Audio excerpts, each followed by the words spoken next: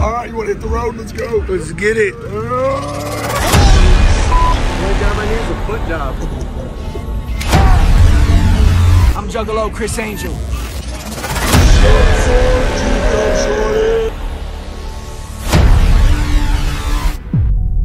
We might be the ones that they judge, but we're the ones who fear uniformity, and we actually dare to be who we really are. Whoa, my brother, I appreciate you so much. And that takes courage, because the only thing that this has ever been about is love and family.